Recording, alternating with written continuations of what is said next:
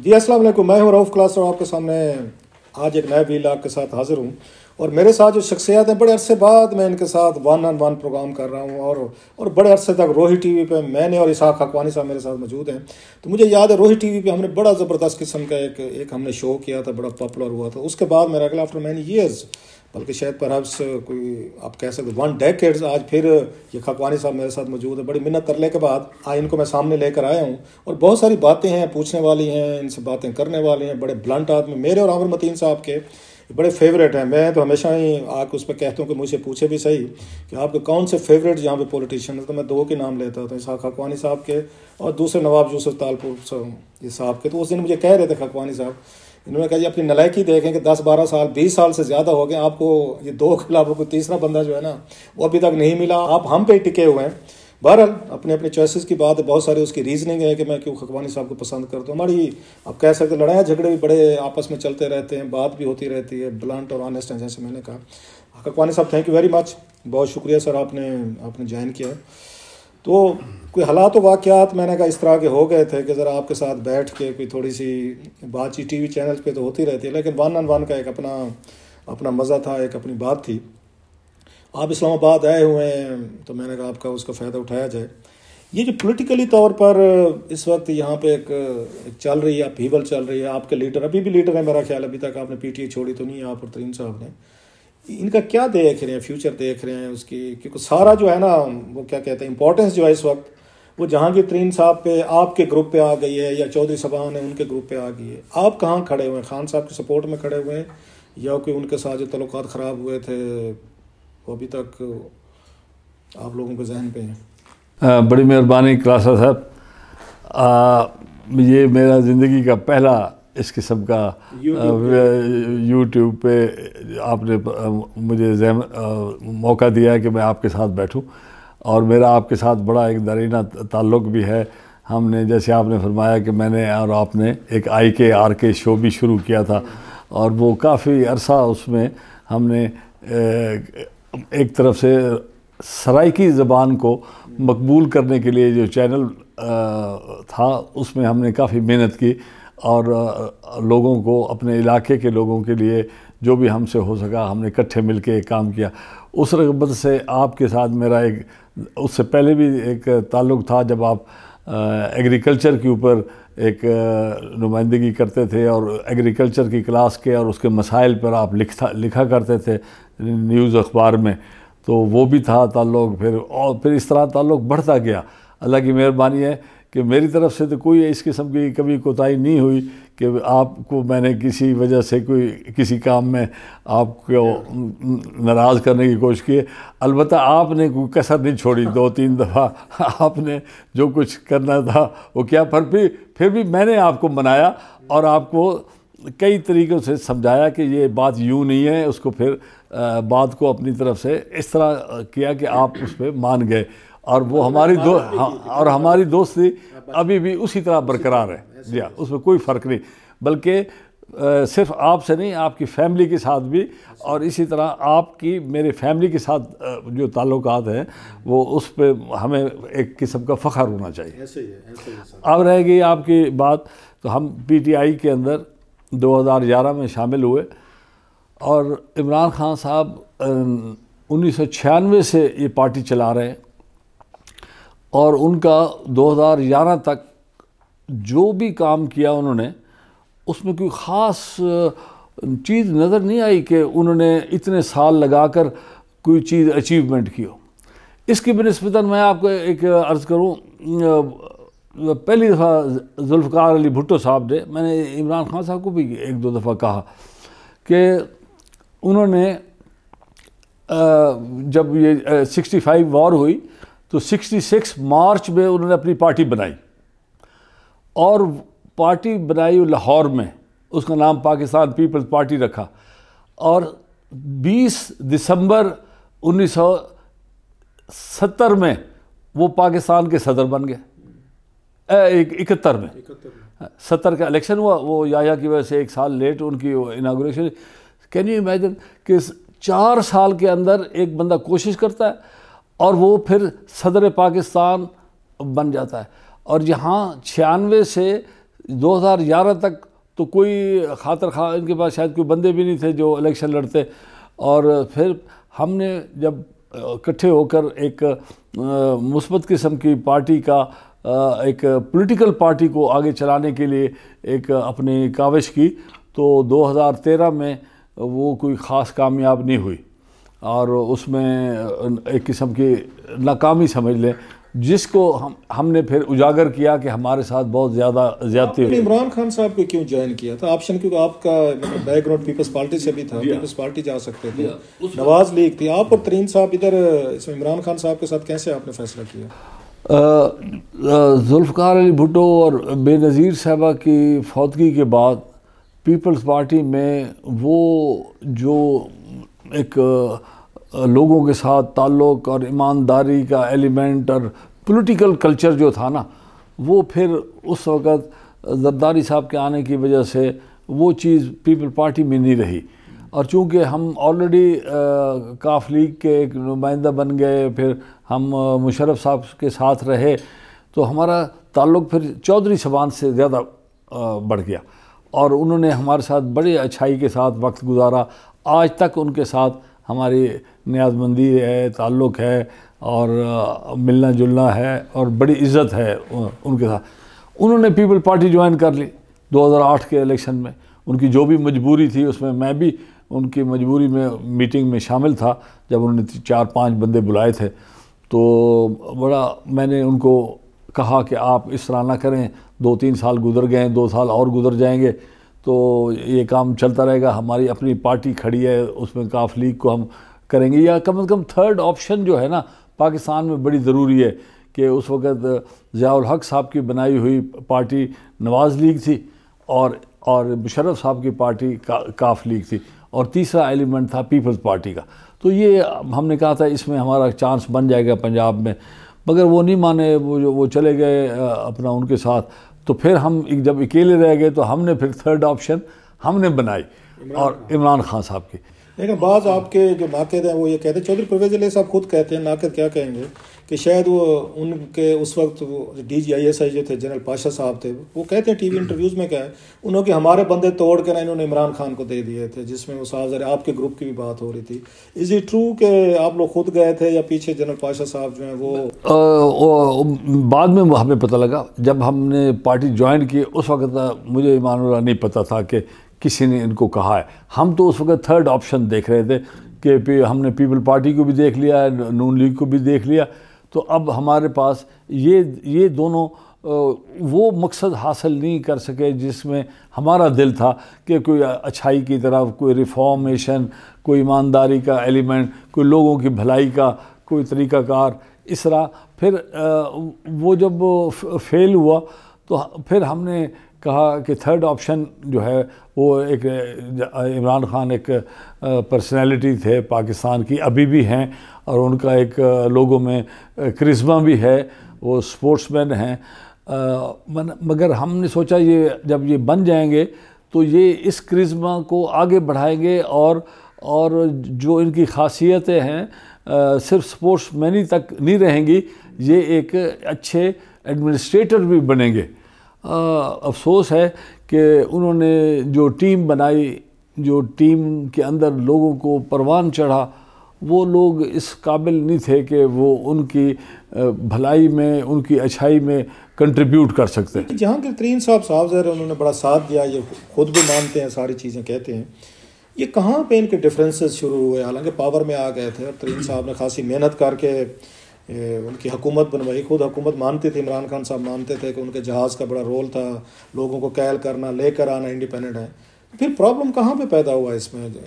इमरान खान साहब को अर्ज़ करता हूँ मगर मैं आपको एक चीज़ बताऊँ ये जो जहाज़ का रोल बार बार लोग कहते हैं ना ये जहाज़ बहुत सारे लोगों के पास है पाकिस्तान में। और बाहर की दुनिया में तो खैर ये एक जैसे बड़ी गाड़ी और कोई होती है इसी तरह वो लोग इस्तेमाल करते हैं। जहाज़ रखना अलहदा चीज़ है। जहाज़ किसी और के के लिए वसीला बनाना और उसके लिए हाज़र रखना और बात है। लोग अपनी मोटर नहीं देते भाई साहब, यहाँ पर। वो भी किसी वर्कर की मोटर ले आते हैं कि ताकि इसको डेंट शेंट पड़े तो उनकी गाड़ी को पड़े। तो ये पैसा होना अलहदा चीज़ है। पैसे का खर्च करना और दिल बड़ा करना और दो मुख्तलिफ़ चीज़ें हैं। यहाँ इनके पास इस वक्त भी काफ़ी लोग हैं जो बड़े पैसे वाले हैं, मगर आज तक हमें तो उनके घर से या उनसे आज तक चाय की प्याली नसीब नहीं हुई 2011 से लेकर 2018 तक। और और ना ही किसी और को, और ना ही इमरान खान साहब को। एक शख्स है मुल्तान में वो कभी इमरान खान साहब के बड़े क्लोज और बड़े सीनियर बंदे वो आज तक इमरान खान को अपने घर भी कभी नहीं ले गए कि वो रस्ते में बंदा ढूंढते कि किसके घर ले जाएँ वहाँ जो तोड़ फोड़ हो गमले टूटे उनके टूटे हमारे ना टूटे। पता नहीं वो हैं और ख़ान को भी पता है। आज तक उन्होंने अपने घर में नहीं आने दिया किसी को ना ही किसी को गाड़ी में बैठने दिया आज तक। अगर अगर कोई बंदा इमरान खान साहब मैं आपका इन देखेंगे वीलॉग या कोई आ, उनको दिखा देगा कोई बंदा तो उनसे पूछेंगे आपने कभी उन हजरात के साथ गाड़ी में उनके साथ बैठा है? सो दिल बड़ा होना चाहिए। जब आप दिल बड़े वाले लोग हुए होते हैं ना फिर उनकी मकबूलियत और उनका ताल्लुक भी बढ़ जाता है। इसलिए लोग कहते हैं जहांगीर का ताल्लुक है। भाई अगर आप सारा दिन उनके घर में आकर चाय पानी पिए उठे बैठे और उनका दिल बड़ा हो खुला हो और दस्तरखान हो और आपके साथ अखलाक और प्यार भी हो तो फिर लोगों और लोगों को क्या चाहिए होता है? चले वो तो आपकी बात अच्छा आपने फिर दूसरा पूछा कि इमरान खान के आपस में ताल्लुक कहाँ से ख़राब हुए?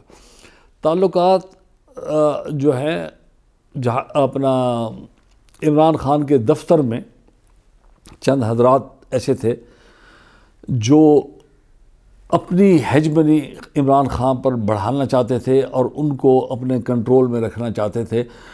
और अल्लाह की बड़ी मेहरबानी है कि वो अपने इस आइंदे में यहाँ तक तो कामयाब हो गए कि उन्होंने दोस्तों को तो उनसे अलहदा कर लिया, मगर वो इमरान खान के लिए ज़ाती तौर पे कुछ नहीं कर सके, बल्कि उनके, उनकी वजह से बदनामी का बायस बने। तो वो लोग उन्होंने इमरान खान साहब को कहा कि पाकिस्तान में दो वज़ी अजम नहीं हो सकते। जो आता है जहांगीर खान को ले आता है साथ और वो कहता है कि ये सही है वो गलत है और वो बैठ के जब आपको समझाते हैं आप उनका काम कर देते हैं। तो यहाँ तो फिर दो प्राइम मिनिस्टर हो गए एक आप हैं और एक जहांगीर खान साहब हैं। ये बताया गया इमरान खान को। इमरान खान के जहन में डाला गया कि जब भी आप किसी वज़ीर का मसला होता है किसी मशीर का मसला होता है किसी चीफ मिनिस्टर का मसला होता है वो आकर आपसे समझाता है। आप उसकी बात को उस वक़्त वज़न देते हैं जब जहांगीर खान उस मशावरत में शामिल होता है। वो चाहते थे कि ये मशावरत वो लोग करें। वो अफसर सबान जो हैं ब्यूरोक्रेट से ब्यूरो ब्यूरोक्रेट्स ब्यूरोक्रेट्स और उसको नहीं वो उसके अंदर चूँकि उनके साथ एक मेल जोल बढ़ गया था सारा दिन दफ्तर में तो वही बैठते हैं ना जनाब। तो उनकी एक ख्वाहिश थी कि ये सिर्फ़ हमारी बात सुने और ये किसी और की बात ना सुने। उन्होंने इमरान खान के जहन में ये डाला कि यहाँ दो प्राइम मिनिस्टर नहीं हो सकते। ये आज़म खान की हम बात कर ये भी हैं वो भी शामिल हैं और भी लोग शामिल हैं जो उनके साथ दफ्तर में क्योंकि फिर उन्होंने दफ्तर को जब कंट्रोल किया तो उन्होंने और भी बंदे साथ ले आए। उन अरबाब को लेके आए शहजाद को। ना शहजाद नहीं अरबाब नहीं वो वो जो वो दूसरा था। शहजाद अकबर। को ले आए। उन्होंने फिर सारा दिन दफ्तर में बैठे रहते थे। वो सारा वो वो किसी और के साथ मिलने भी नहीं रहते थे। वो तो कंट्रोल करना चाहते थे। यहाँ शुरू में बहुत बड़े मसाइल थे। नई हुकूमत मिली थी उसके इकनॉमिक इश्यूज़ थे उसके एडमिनिस्ट्रेटिव इश्यूज़ थे। इनको कुछ पता ही नहीं था भाई क्या, हुकूमत कैसे चलती है। इनका तो तजर्बा होना चाहिए ना किसी चीज़ का। तो वो तजर्बा जो कुछ था प्लानिंग और चीज़ें और फिर बड़े मनसूबा जात और और फिर इकनॉमिक शुरू में तो बड़े मसले थे आईएमएफ के साथ डीलिंग तो वो इनको तो इस किस्म की ट्रेनिंग नहीं थी ना। इनका कसूर नहीं है किसी का। बट ये एक ट्रेनिंग की बात होती है। कई बंदे हुकूमतों में रहे होते हैं वो उस चीज़ों को समझते हैं। ये तो पहली दफ़ा ज़िंदगी में हुकूमत में आए। इन्होंने तो हुकूमत इनडायरेक्टली चलाई थी 2013 में और 2018 तक फ्रंटियर में के पी के में। ये भी कहा जाता है कि आज़म खान साहब को जो वज़ी अजम से मिलाने वाले थ्रू करने वाले यही थे अपने जहांगीर तरीन साहब थे जब ये मामला देखते थे। ये के पी के के वो वो अपने वो आप जानते नहीं आस्तीन का सांप कौन होता है जी? वो बाहर से पकड़ के ले आते हैं वो आपके स्क्रीन में ही होता है ना तो आप ये कह रहे हैं कि आप ये कह रहे हैं कि आज़म खान साहब जो उन्होंने सारा ये प्लाट बनाया और उन्होंने जहांगीर तरीन और इमरान खान साहब की लड़ाई करवाई। क्या उन्होंने बीज बोया और वो बीज परवान फिर उसी तरह चढ़ता है ना जब आप खुद भी मानने लग जाते हैं कि यार मुझे तो कोई चीज़ समझ नहीं ये आता है तो करा जाता है काम।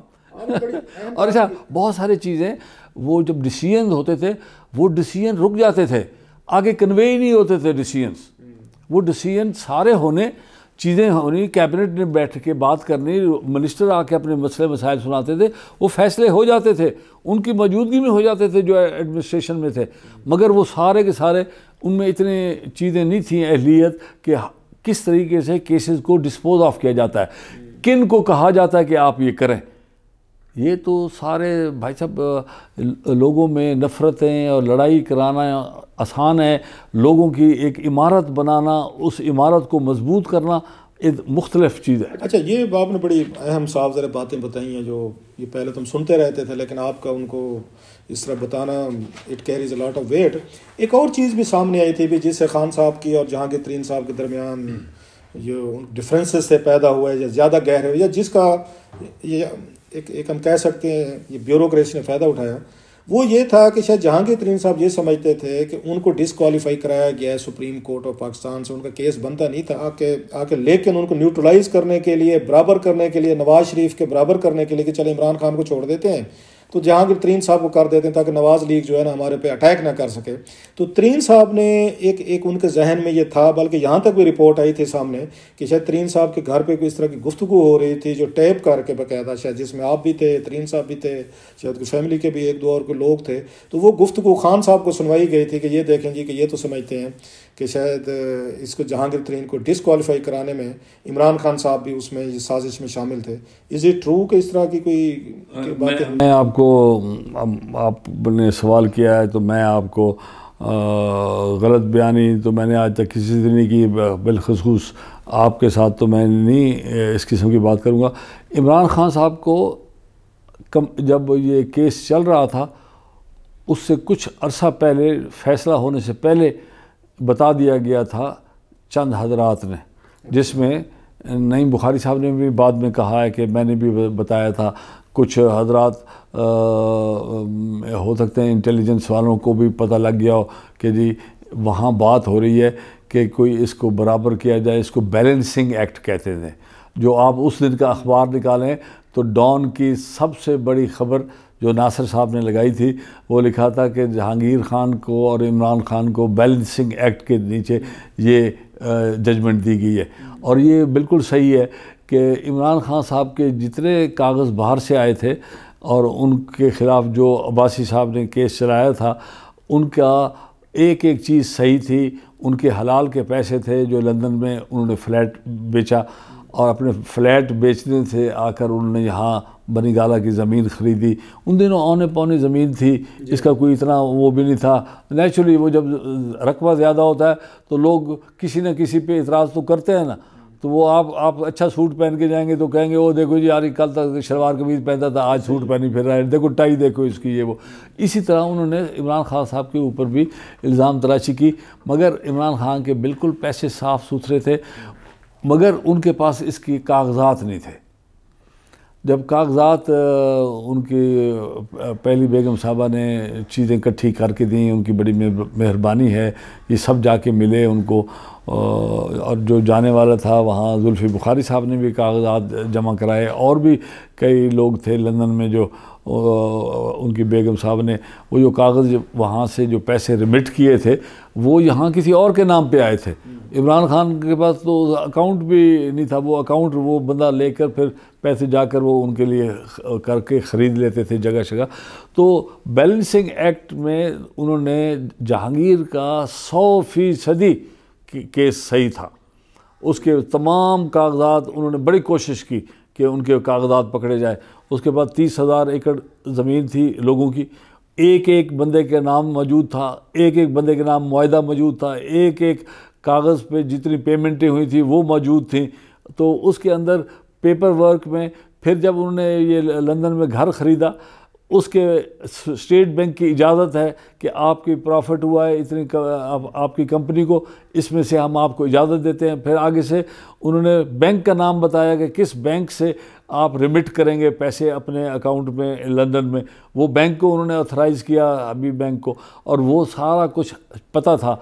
इसमें साकिब निसार साहब और उनके दोस्तों ने बहुत बड़ी नाइंसाफ़ी की एक आदमी के साथ जिसका कोई इस किस्म का नहीं काम बनता था। आज भी किसी अदालत में वो कागज़ ले जाएँ, किसी आदमी को दिखा दें जो इन चीज़ों को समझता हो तो वो कहेगा।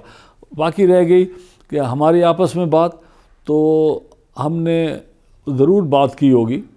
हमने तो मैंने तो कम अज़ कम दो तीन बंदों के बारे में कहा कि यार, आपके ख़िलाफ़ फ़लाँ भी हो सकता है, आपके ख़िलाफ़ फ़लाँ भी हो सकता है।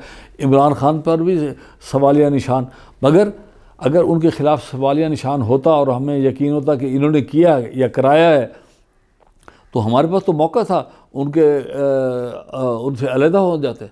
हमने तो डट के 2018 में डिसकॉलीफिकेशन के होते हुए उनके साथ उस बढ़ चढ़ के काम किया और दिन रात लगा के काम किया हकूमत की फॉर्मेशन में काम किया आज़ाद बंदों को लेके आए वो, वो साथ मिले फिर उनकी हकूमत बनाने में रत्ती बराबर भी फ़र्क नहीं। मगर अगर ये सोच रहा है कि जी आप वाकई किसने किया है तो बाय प्रोसेस ऑफ़ एलिमिनेशन ये तो कहा जा सकता है ना कि जी फ़ौज ने कराया है ये जी ब्यूरोक्रेसी ने कराया है ये जी हमारे अपने साथियों ने कराया है पार्टी के अंदर लोगों ने किया है इमरान खान साहब ने उसकी सुपरविज़न की है। ये ये डिस्कशन तो एक जहीन और समझदार लोग आपस में करते हैं ना जनाब? साहब क्या समझते हैं? किसने कराया है? वो इमरान खान साहब पे शक है? उन्हें अभी भी है? नहीं, मेरे नहीं ख्याल। मुझसे आज तक उन्होंने एक दफ़ा भी नहीं कहा कि इमरान खान ने मेरे, उन्होंने ये ज़रूर कहा है कि जिन लोगों ने इमरान खान को ये क्लियर, क्लियरेंस देनी थी और नवाज़ शरीफ को उन्होंने उसमें उनको, उनके ऊपर ज़रब लगानी थी तो उन्होंने समझा कि चलो इसको बैलेंसिंग एक्ट कर दिया जाए। तो वो बाकी लोग उसमें जज छबान भी होंगे, जिन, जिन्होंने जिन, जिन्होंने किसी के कहने पे वो जजमेंट की और फिर जजमेंट को उस तरीके से इमरान खान को उससे फ़ायदा पहुँचा और जहांगीर को और उसकी दोस्तों को नुकसान हुआ। तो जहांगीर खान का जितना भी रोल है, मैं आज आपको हल्फन कहता हूँ कि तीन चार चीज़ें हमारे साथ हुई। जिस दिन यहाँ पर पहला धरना हुआ 2014 का, उसमें आप कोई एक आदमी बता दे, सिवाय अलीम खान और जहांगीर खान के, किसी बंदे ने वहाँ दस रुपए भी खर्च किए हों। जी इतना बड़ा काम पैसों से होता है ना जनाब? और चीज़ें, किसी को पता ही नहीं था, किसी ने 126 दिन का जो धरना है, एक सौ अट्ठाईस दिन का, उसके अंदर एक बंदा बता दे कि उसकी क्या कंट्रीब्यूशन थी। नन उसी दौरान जुडिशल कमीशन बना चौहत्तर केस बनाए मेरी सुपरविजन में और सेवेंटी फिफ्थ केस जो था वो था सेक्रेटरी इलेक्शन कमीशन अशफाक साहब का जिसको अपना आ, उन दिनों प्राइम मिनिस्टर अपना गिलानी साहब ने गलत तरीके से अपॉइंट किया इलेक्शन कमीशन के सेक्रेटरी का वो भी हमने दिखाया। ये पचहत्तर केस में से इनमें से जितने इस वक्त गुजरा हैं उनमें से एक आदमी खड़ा हो जाए कहे कि मैंने फ़राब बंदे का फलाना कागज़ मैंने जमा कराया था। फिर उसके बाद जब इमरान खान ने के ख़िलाफ़ केस हुआ सिवाय जुल्फ़ी बुखारी के और जहांगीर खान के कोई बंदा बता दे कि उन्होंने वहाँ बैठ के कोई कागज़ बनाए चीज़ आई थी बात जो भी आपने बताई भी है तो एक एक चीज़ या एक कोई बंदा बता दे। सर ये मतलब ये है कि तरीन साहब के घर पे गुफ्तु टैप किए गए थे जहाँ पे आप कुछ लोग मतलब फैमिली फ्रेंड्स बैठे हुए थे। जो गुफ्तु हुई वहाँ पर टैप करके वो सारी इमरान खान साहब को सुनवाई गई कि ये देखें जी कि आपके बारे में ये गुफ्तु हो रही है।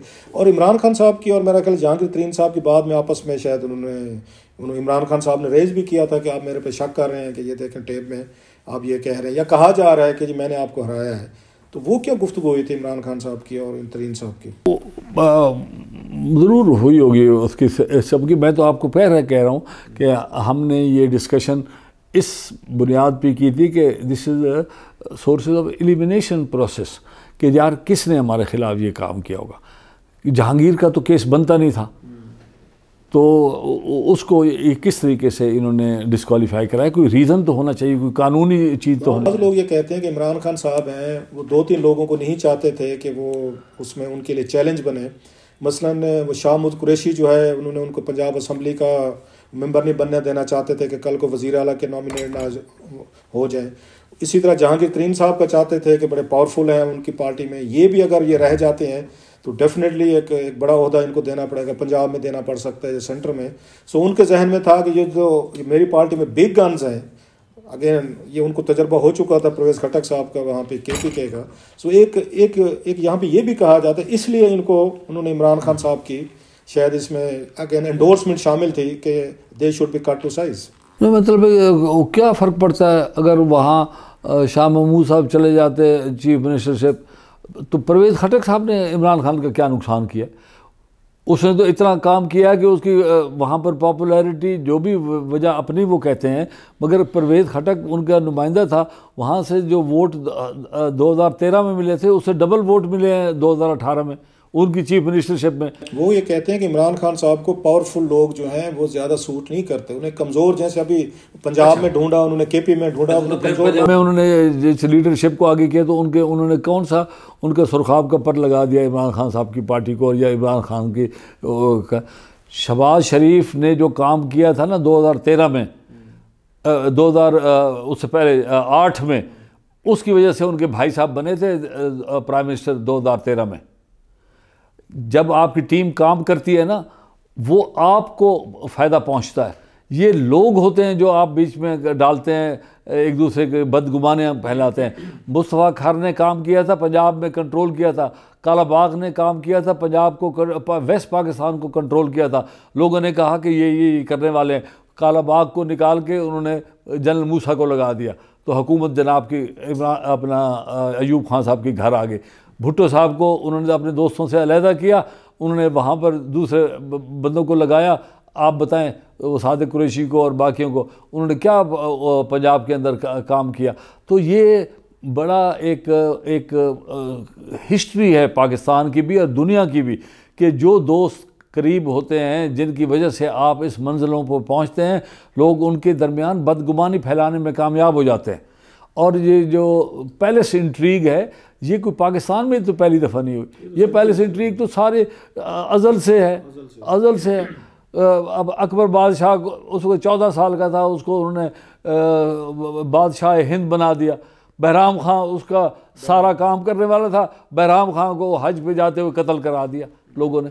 तो ये कौन सी ऐसी नई बात है जो हमें मैं तो हैरान हूँ कि लोगों को ये चीज़ें पता होनी चाहिए कि आपस में कि दोस्तों को लड़ाने और असल काम है दोस्तों को इकट्ठा करके मज़बूत करने का। अगर आप मज़बूत नहीं करेंगे तो ये देखा है आपने एडिफेस कैसे गिर रहा है?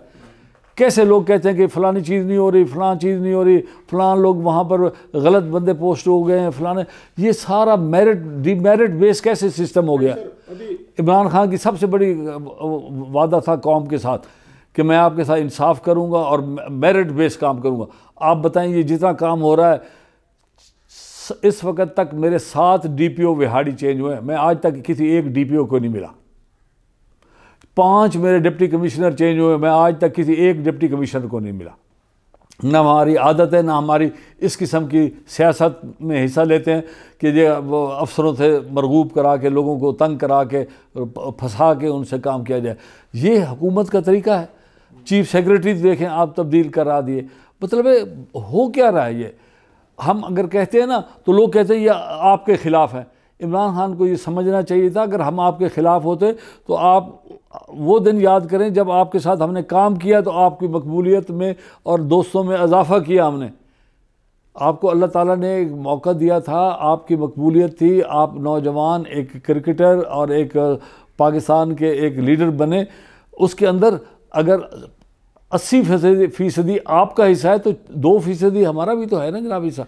आप इस वक्त फील करते हैं आप और जहांगीर तरीन साहब या आपके साथ जो दोस्त हैं कि आपको यूज़ किया गया यूज़ करने के बाद मतलब डंप कर दिया गया मतलब एक हमारे यहाँ एक, एक बात एहसान फरामोशी की कहा जाती है। आपको ऐसा फील होता है कि आपके साथ वही कुछ हुआ तरीन साहब और आपके साथ? क्योंकि अगर तरीन साहब की फैमिली पे पर्चे हुए उनके बच्चियों पे हुए बेटों पे हुए उन पे अपने पे हुए साहब। हम अगेन इज़ देयर एनी अगर कहते हैं सेंस ऑफ़ बिट्रेयल कि आपके साथ धोखा हुआ है? हाँ जी हम भी इंसान हैं और हमें भी दोस्त और अहबाब और सारे हमारी मेहनत को याद कराते हैं कि फिर आप इतनी मेहनत की आप लोगों ने तो आप को क्या बना?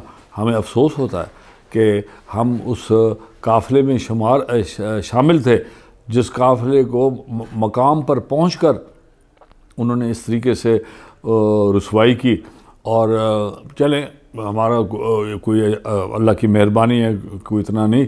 फिर हमारा जो सब इस काफ़िले का सरबराह था, उसको इस गलत तरीके से, बेबुनियाद चीज़ों से उसके ऊपर इल्ज़ाम तराशी करके, उसके ख़ानदान के ख़िलाफ़, उसके बच्चों के ख़िलाफ़ एक सरकारी मुलाजिम आपके सर पे इतना सवार हो जाए, उसका बहुत हमारे पे एक असर है और जहन जो है, वो ये तस्वर नहीं कर सकता, ना इस इस चीज़ को कबूल करता है कि खड़े होकर हमारा लीडर हमारे साथ इस तरीके से रवैया रखे और ये काम करे।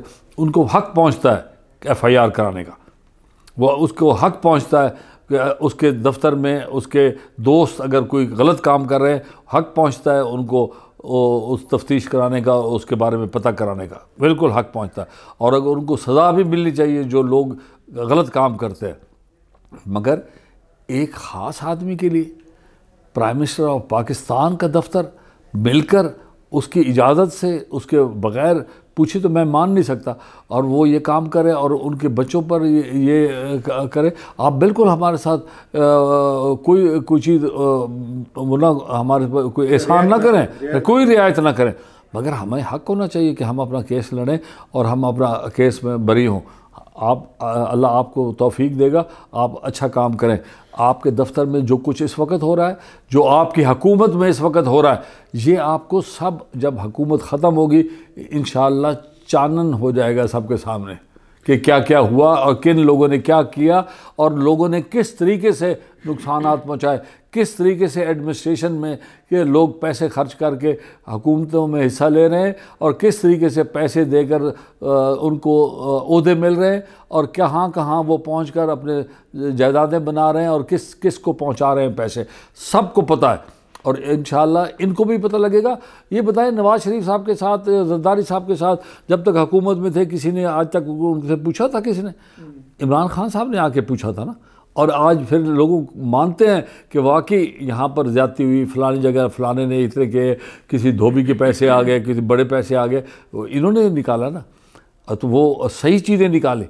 अगर इस हकूमत के ख़त्म होने के बाद जब यहाँ पार्टी के अंदर जो लोग हैं इस वक्त और साहब इकतदार हैं, उनके बारे में आपको पता लगेगा, आपको इमरान खान साहब, हमारे से ज़्यादा आपको अफसोस होगा।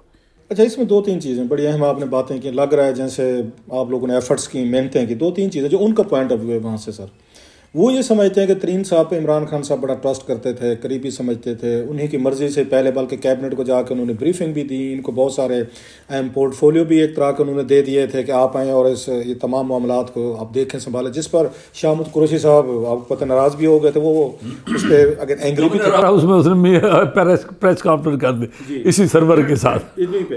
वो ये समझते कि इमरान खान साहब ने बड़ा ट्रस्ट किया था जहांगीर तरीन साहब पे कि उनके बड़े करीबी हों। जो कुछ भी करेंगे अल्लाह ने इनको बहुत कुछ दिया हुआ है।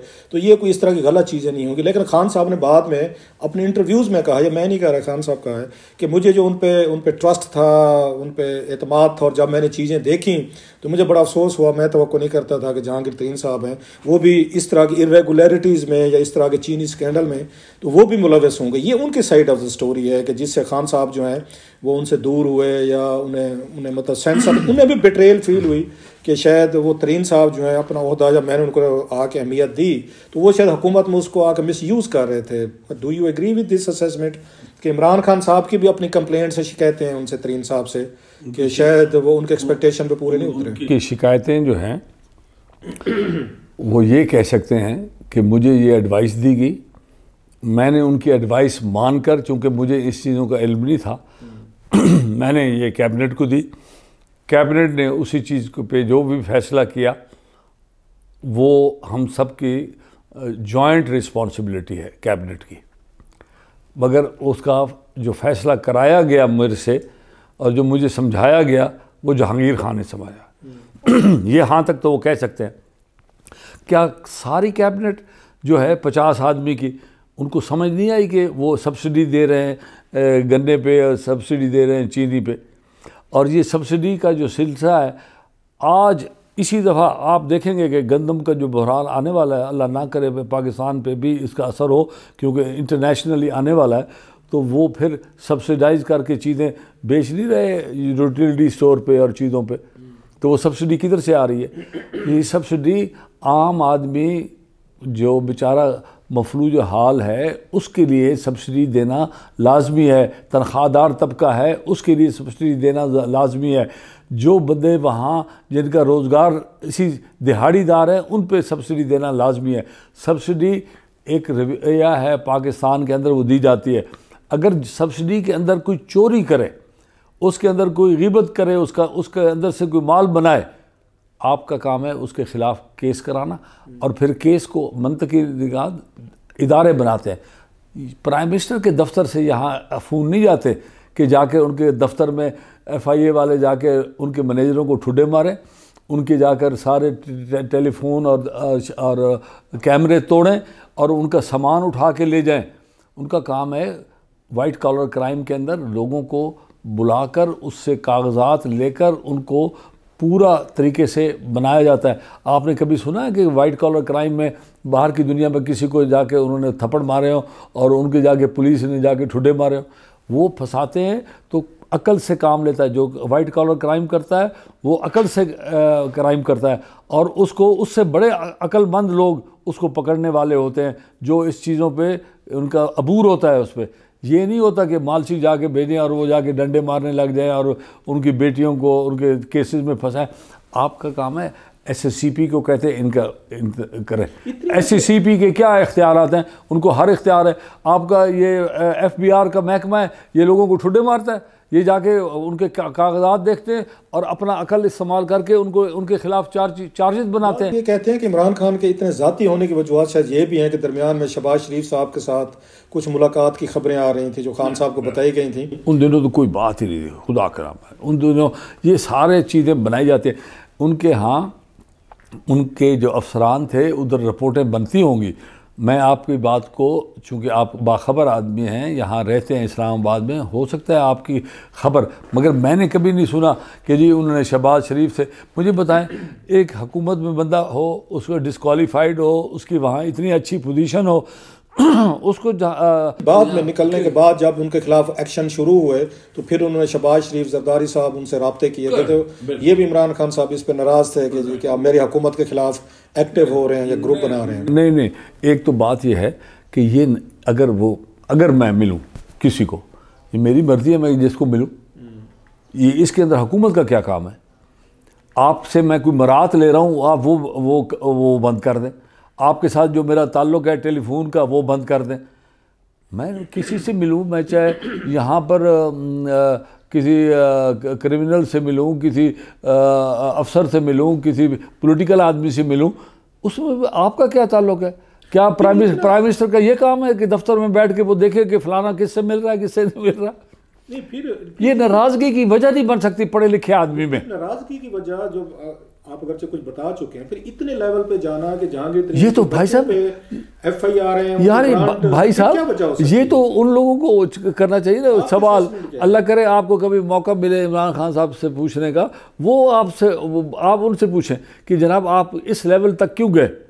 आपका क्या ख्याल है क्यों गए? मैं ऑनेस्टली ईमानदारी से मैं कहता हूँ हल्फन कहता हूँ कि इस लेवल पर तक जाना उनको मुनासिब नहीं था और ना ही उनकी शान के मुताबिक है। ना ही उनके रुतबे के मुताबिक है ना ही उनकी तालीम और उनका जो बैकग्राउंड है उसके मुताबिक है। वो तो इन चीज़ों के ख़िलाफ़ थे। सारी उम्र उसके ख़िलाफ़ करते रहे। जब मौका आया तो वही चीज़ खुद कर दी। अब आप बताएँ आप लोगों के ख़िलाफ़ उन्होंने अखबार वालों को सारे टीवी और इनको के, के ख़िलाफ़ क्या ये ये ऑर्डीनेंस निकाले हैं? जस्ट बिकॉज़ किसी ने कोई फजूल किस्म की किसी के बारे में बात लिख दी। ये चीज़ें तहमुल के साथ मुल्क की बेहतरी के लिए किसी बड़े मुल्क को फॉलो करते हैं। ये कानून इस वक्त राइज है यूएसए में। ये कानून इस वक्त राइज है अपना यूके में कि वो हतक इज़्ज़त का दावा करते हैं और वो डेफेमेशन को क्रिमिनलाइजेशन नहीं करते जो कि ये अपना बड़ा अच्छा उन्होंने नोट लिखा chief justice Islamabad high court ने कि ये चीज़ें क्रिमिनलाइजेशन इज़ डिफरेंट और अगर कोई चीज़ हतक हो, वो आपका काम है, कानून बनाए कि हतक के जो है तीन चार महीने छः महीने में फैसले हो जाने चाहिए। और आपका फ़ाइन ऐसा हो कि आप कंगाल हो के बाहर सड़क पर खड़े हों, आपको इतनी सज़ा मिलनी चाहिए। किसी को पाँच साल के लिए पहले बग़ैर वो वो दिए अपना बेलेबल नॉन बेलेबल ऑफेंस करके किसी को पकड़ना, क्या ये ये कोई जायज़ खान साहब उस पर आते हैं अब। इस पर शाहमुद कुरैश साहब को मैं सुन रहा था। वसीम बदामी के साथ बात कर रहे थे कि जो अभी टेलीफोन कन्वर्सेशन की आई थी तरीन साहब की और इमरान खान साहब की तो शाहमुद कुरैश साहब कह रहे थे कि जो इमरान खान साहब ने फ़ोन किया है अगर मैंने ठीक सुना है तो उस पर हमारी पार्टी के अंदर कुछ ज़्यादा कोई इस बात को अच्छा नहीं समझा जाता है कि, कि जहांगीर तरीन से रबता होना चाहिए या उनसे हमारी कोई बातचीत होनी चाहिए। कुरैश साहब की मैं सुन रहा था। तो रबता जो अब हुआ है उसके बाद कुछ कुछ चांसेस हैं रिकन्सिलेशन के इमरान खान साहब के और जहांगीर तरीन मुझे बड़ा अफसोस है कि लोग एक रबते को इतनी अहमियत दे दें। हम कई अपने मुखालफों का और कई हमारे मुखालफ हमें आकर घर में अफसोस करते हैं जब हमारी कोई ना कोई कज़िया हो जाए या कोई अफसोस हो जाए, कोई बीमार हो जाए, किसी का एक्सीडेंट हो जाए, किसी की नुकसान हो जाए, हम आके उसको फ़ोन करके कहते हैं, यार अल्लाह खैर करे तुम्हारा। मेरी उनके साथ सियासी मुखालफत है ना? सियासी मुखालफत में क्या है? मैं वो इससे कोई उदा मिल जाएगा। ये है खौफ ये है नाअहली के खौफ। जब आप ख़ुद कोई काम नहीं कर सके, आपसे कोई काम होता नहीं है, आपका काम यही था कि आप खड़े होकर जाकर एक टीवी चैनल पे सऊदी अरेबिया के ख़िलाफ़ शुरू हो जाएँ। आपका यह काम काम है कि आज मुल्क में 140-45 आदमी ने एक करारदाद पास कराई है, हमने वहाँ एब्सटेन किया है। आप लोगों को समझाएँ कि अब्सटेन किस लिए किया है। यहाँ जो 140 एम्बेसडर बैठा है, उनके साथ मिलें। उनको कहें कि हमने सही फैसला किया है। इसकी वजूहत ये हैं, छुप के वहाँ जाकर गोटकी में उसके जलसा करने के तो कोई फ़ायदा नहीं है। यहाँ आपका काम है इस वक्त इन एम्बेसडर्स को आप अपना पॉइंट ऑफ़ व्यू दें। आप जाकर मलेशिया को कहते हैं कि हम आपके पास नहीं आ सकते क्योंकि हमारे साथ सऊदी नाराज़ हो जाए। उनकी भी लड़ाई करा दी, उनकी भी लड़ाई करा दी। ये तो है इनका हाल। आप उससे उससे उम्मीद रखते हैं कि वो अपना नेशनल लेवल पे कोई बात करेंगे। उनको तो खायफ है इमरा जहांगीर खान से, क्योंकि Jahangir Khan is a doer उसने ज़िंदगी में काम किया अपने हाथ से। इनको तो मिला है ना विरसे में कि किसी के दरगाह मिल गया, दरगाह वालों से उन्होंने वहाँ से सालाना पैसे ले लिए उर्स के, और उर्स के पैसे बचा लिए एफबीआर से, और वो अपने आप के घर पे ख़र्चा कर लिया जब चीज़ें बना ली। हैं? इमरान खान को कहे ना कि ये एफबीआर का केस खोले ना कि इसको कहे अपना ये जो खर्चा आता है हाँ? ये ये कि ये किधर से आते हैं इनके पास खर्चे?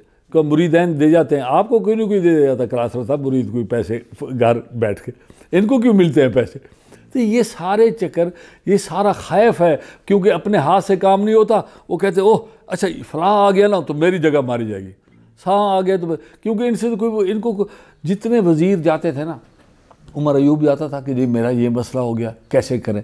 अपना पेट्रोलियम वाला वज़ीर जाता था कि साहब, वहाँ पर हमारी वो पैसे नेगोशिएट नहीं हुए, हमें वो नहीं मिल रहा, जहाज़ नहीं मिल रहा तो हम कैसे करें? इसी तरह सब्सिडी ऑन वीट के ऊपर शुगर केन को शुगर केन नहीं बिक रहा था तो उन्होंने कहा शुगर के तो एग्रीकल्चर का वज़ीर कहता था, ये मेरी कोई बात नहीं सुनता तो मेहरबानी करके मेरे साथ चलें प्राइम मिनिस्टर साहब से कैबिनेट में ये फैसले कराएँ। ये सारे फैसले उस एजेंडे के साथ उन्होंने कहा, ये क्या मुसीबत आ गई हमारे दफ्तर में? सारा दिन काम शुरू हो गया।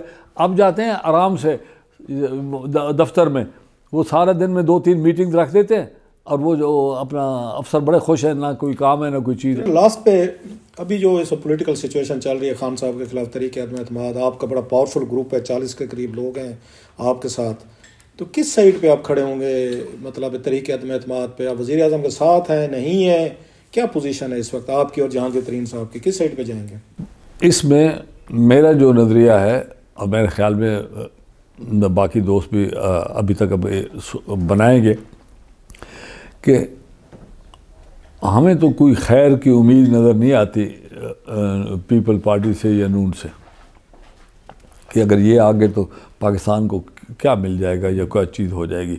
ये उनको हटाने के लिए उनकी ज़ाती नाराज़गी और लड़ाई है कि ये वो उनके ख़िलाफ़ हैं और उन्होंने मुल्क के साथ ज़्यादती की है तो इमरान खान उसको अच्छा नहीं समझता तो वो उन्होंने केसेस बना के एक दूसरे के ख़िलाफ़ किया।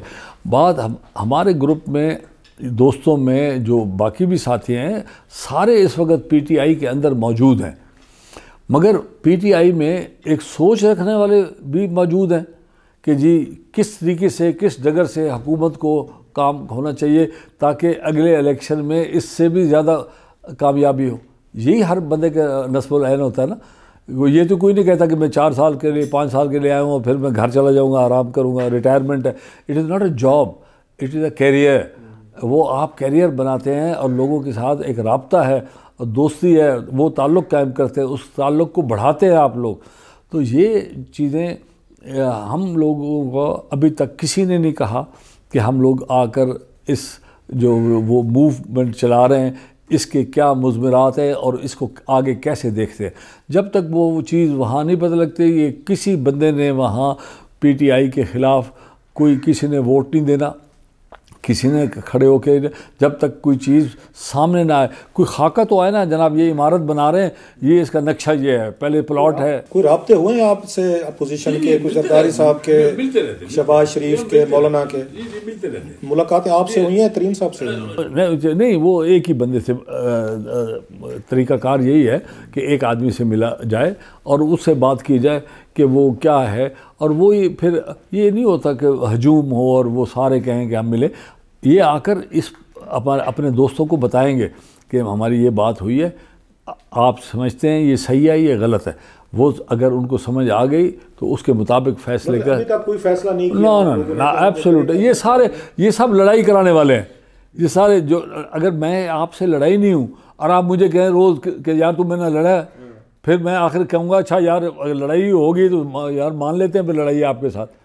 तो इस वक्त कोई इस किस्म की फैसला, कौन बात नहीं है। चूँकि जहांगीर खान एक के, केस में नाराज़ हैं उनसे और जायज़ नाराज़ हैं और इन्होंने गलत काम किया है तो उसकी वजह से लोग हैं, बट वो सिर्फ़ एक पहलू तक है और उसके बाद जो अगर उन्होंने किसी एम एन ए से नाराज़गी की है तो वो उसका अपना ज़ाती है। हमारे पास इस वक्त भी वज़ीर आते हैं उनके कार पे झंडे लगे होते हैं और वो पार्लियामेंट सेक्रेटरीज भी हैं और बड़े उहदों पर भी हैं वो आके मिलते हैं और गपशप लगाते हैं। लोग ये भी कहते हैं कि जिसको इंपॉर्टेंस नहीं मिल रही होती वहाँ पे इमरान खान के कैंप में बुजदार के कैंप में अपने काम निकलवाने होते हैं तो वो इधर आ जाते हैं कुछ दिनों के लिए फिर उनको बुला लिया जाते हैं मीटिंग्स हो जाती हैं फिर वो चले जाते हैं महीने दो महीने बाद फिर काम को कोई मसला होता है फिर आ जाते हैं आप लोगों के गुजारिश है अगर उनके साथ इस तरीके से साहब, हैसियत लोग जो कुर्सी पे बैठे हैं, अगर वो अपने दोस्तों को नहीं संभाल सकते, डेढ़ सौ बंदे को नहीं संभाल सकते, और वो सारे मुल्क से वोट लेके आए हैं, वो एक एक सौ सत्तर एम एन एज़ को नहीं संभाल सकते तो ये उनका कसूर है जनाब। अगर वो हमें आके मिल के हमें उन्होंने डराना बनाया हुआ है तो अगर वो डरा कर अपना काम कराते हैं हमें तो खुशी होती है कि काम करा है। रहा है ना कि अपनी मुर्गी को आप संभालें जो महल्ले में जाकर अंडे दे आती है। महल्ले वालों का कसूर तो नहीं है? तो नहीं कि हमारे पास सर अगला इलेक्शन आप लोग किसके साथ लड़ेंगे? अपने ग्रुप के साथ लड़ेंगे या किसी पार्टी के साथ या पीटीआई के साथ? जी पीटीआई के साथ है और पीटीआई जैसे उनकी मर्ज़ी है लोगों को निकाल दे। बादशाह है, वो बादशाह अंडे दे, बच्चे दे, जो मर्ज़ी करे। असली में कई दफ़ा देखा वहाँ पे उनके उनके तरीन साहब के घर पे, अगर बाज़ दफ़ा मैं भी विज़िट करता था वहाँ पे आपसे मिलने के लिए तो बहुत सारे मिनिस्टर जो आज कैबिनेट में बैठे होते हैं, इनको बहुत सारों पे वहाँ सोफों पे बैठे हुए उधर उधर, कुर्सी, मेज़ पे, देखता था, पूरा भरा रहता था, ये ड्राइंग रूम जो है, बहुत सारे उनके करीब भी थे। उसके बाद भी कोई नज़र आए जब क्राइसिस आया जहांगीर तरीन साहब को? रबते में रहे कभी किसी ने मदद की कोशिश की या ये बंदे जो आए हैं ये तो कमाल नहीं एम एन एज नहीं एम वज़ीर थे नहीं फेडरल हुकूमत की बात कर रहा हूँ मैं। मैं आप विफाकी हुकूमत के वज़ीर देखे मैंने बड़े बड़े जो तरीन साहब के वहाँ पे सोफों पर बैठे होते थे। ये ये पाकिस्तान और इस इलाके की रिवायत है जिसमें हम रहते हैं। ये अगर पता लगे ना कि एस एच ओ तब्दील हो गया है तो उस H O S H O से बात ही नहीं क्यों नहीं करता।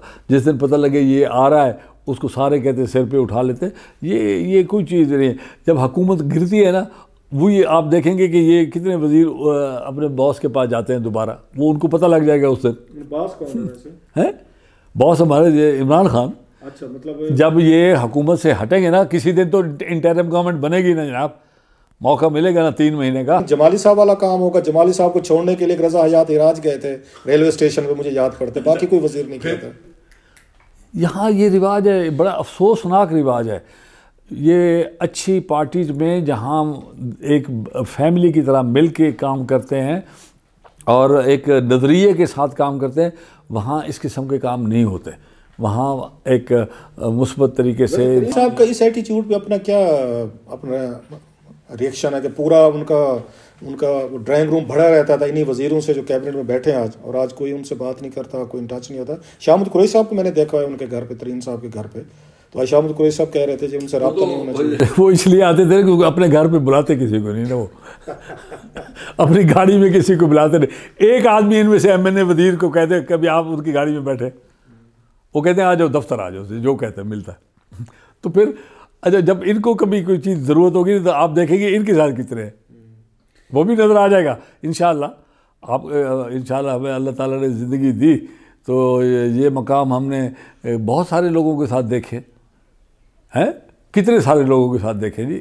या और हमें मायूसी होती है मगर ये चीज़ें होती रहती हैं। ये इसको इस तरह ये हैपन वो इसको इस तरह से should be taken as as a routine इसको अब दिल को नहीं लगाना चाहिए। चढ़ते सूरज को सलाम पे हमें जी जी बिकॉज़ यहाँ रिवाज यही है। रिवाज बहुत शुक्रिया खकवानी साहब आपने बड़ा तफसील के साथ एज यूजल बड़ा ब्लंट ऑनेस्ट और और अग्रेसिव अपना पॉइंट ऑफ़ व्यू वो आपने पेश किया आपने हमें टाइम दिया I am so grateful to इंशाल्लाह आते जाते इस्लामाबाद आपका चक्कर लगता रहता फिर पकड़ लेंगे आपको किसी वक्त पोलिटिकल सिचुएशन के लिए। बहुत शुक्रिया बड़ी मेहरबानी आपकी कि आपने बुलाया और मैंने इस तरह का पहला एक वीलॉग देखा है। नहीं करते रहेंगे ऐसे। आपसे आपसे करते पुरानी यादें हम दोबारा रिवाइव करते हैं। जो पहले शोज़ होते थे ना वो करते हैं बहुत शुक्रिया Khan thank you very much बहुत शुक्रिया। थैंक्स